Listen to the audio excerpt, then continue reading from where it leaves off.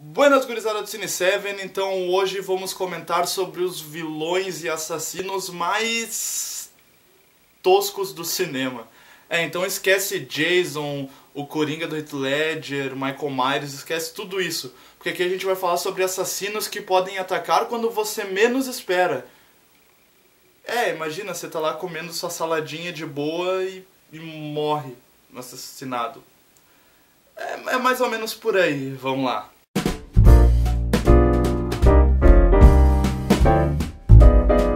Começando a nossa horripilante lista com o Ataque dos Tomates Assassinos de 1978.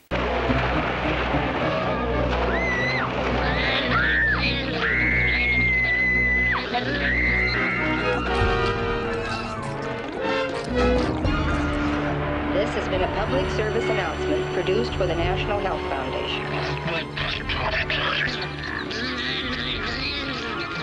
Cara, esse filme é impagável. Imagina você tá lá cortando sua saladinha de boa pra arrumar pro jantar e de repente simplesmente um tomate ele sai do balcão da pia e te persegue pra tentar te matar.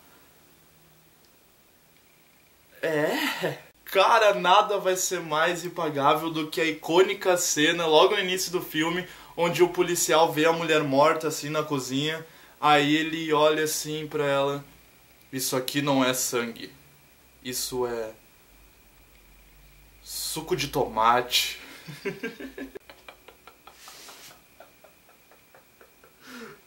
ah, meu Deus do céu, cara. Que lista, cara.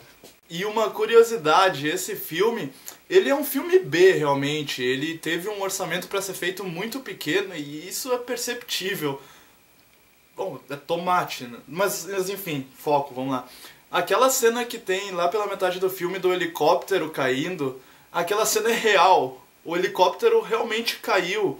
A hélice dele bateu no chão e aquele acidente realmente aconteceu. Os policiais olhando pro helicóptero assustado, eles estavam mesmo assustados porque aquilo não estava programado para acontecer. Aí o filme já não tem dinheiro e ainda consegue destruir um helicóptero, né, cara? Porra. E você já ouviu falar de Huber, o pneu assassino?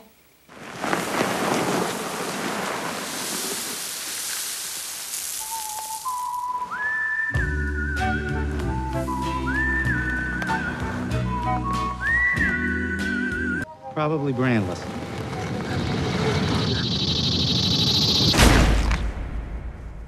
Pois é, essa maravilha do cinema francês é de 2010. Mas ele não mata simplesmente as pessoas passando por cima, não. Esse pneu ele tem um incrível poder de telecinese. É, o pneu ele mata com a força do pensamento. Sim, um pneu vingativo que destrói tudo que passa pelo seu caminho. E existe uma história de construção aqui também. Ele começa primeiro treinando seus poderes em objetos pequenos, como latinhas e garrafas de cerveja, até por fim poder usar toda a sua fúria nos seres humanos. Até que ele encontra uma bela donzela por quem ele se apaixona.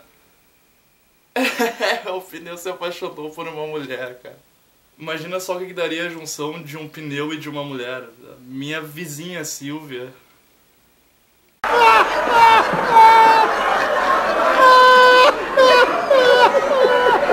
E agora de pneus para geladeiras, o próximo assassino da nossa lista é do filme A Geladeira Diabólica de 1991. Porra, não tem como falar os nomes dos filmes sério, cara. Não tem.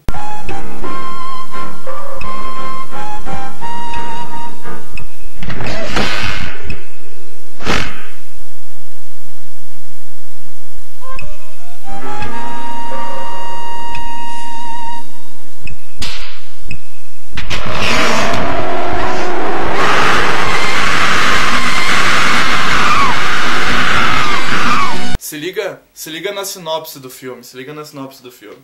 Um casal se muda para um precário AP em Nova York, e o único objeto que atrai a afeição dos dois é uma geladeira. Porém, eles descobrirão que o objeto é um assassino brutal que envia suas vítimas para o inferno. ah, ó. Ah, A gente vai melhorando aqui, a gente vai melhorando. Cada assassino da lista, olha, é uma coisa de louco. Imagina só você tá de madrugada aí na sua casa e você sente sede e aí vai até a cozinha buscar água e quando abre a geladeira, a geladeira simplesmente se fecha, esmaga a tua cabeça e te manda pro inferno. É mais ou menos por aí o filme. E antes de falar do próximo assassino da lista, eu preciso dizer que hoje em dia eu sei que tem muitos jovens me assistindo agora e eu queria dizer: usem camisinhas. É sério. A não ser que seja a camisinha do próximo filme da lista. Aí.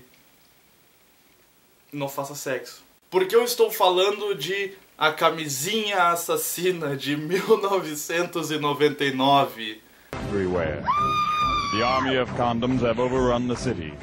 Only one man is brave enough to take on the crazed condoms. Luigi Macaroni, police detective. He alone must do battle with the army of death, preying upon the citizens of New York City. Meu, os caras são muito gênios. Eles conseguiram pegar uma das coisas que fazem mais propaganda, que é um método seguro para as pessoas, e vão lá e conseguem transformar até isso em um assassino serial killer. Após perder um dos testículos. Vamos lá de novo. Após perder um dos testículos. Tá, não, vamos. Lá. Vou, vou conseguir, vou conseguir.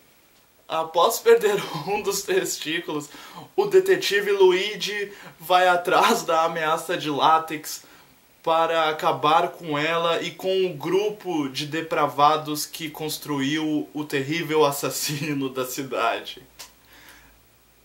Consegui. Camisinha assassina, cara. O pior é que as camisinhas andam no filme. É sério. E por último da nossa lista, mas não menos importante, talvez o mais importante, aquele assassino que te fez olhar três vezes pro pote de iogurte antes de comer ele na sua casa, que é o filme The Stuff, ou A Coisa. Here, Jason. Take some. There is something alive in there. They're good for us, Jason. They kill the bad things inside us. Must be a side effect of eating too much dessert.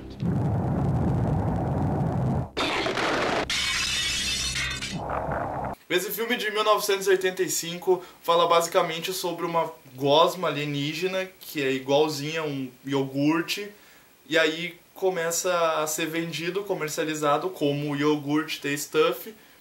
Só que quando ele entra, as pessoas ingerem ele, as pessoas ficam tomadas pela gosma e ficam tipo uns zumbis assim na cidade. E quem você acha que pode ser seu amigo, na verdade, pode ser só mais um do exército de A Coisa. Enfim, esses são os cinco vilões que eu separei para a lista de hoje, mas com certeza existem outros vilões muito mais toscos por aí. Deixa aqui nos comentários se você sabe de algum que ficou de fora da lista. E se inscreva no canal, deixa o like aquele pra fortalecer a amizade com o amigãozinho aqui. É isso aí, até a próxima. Tomem cuidado com camisinhas, pneus e iogurtes. É isso aí, valeu, abraço. tchê. Fui!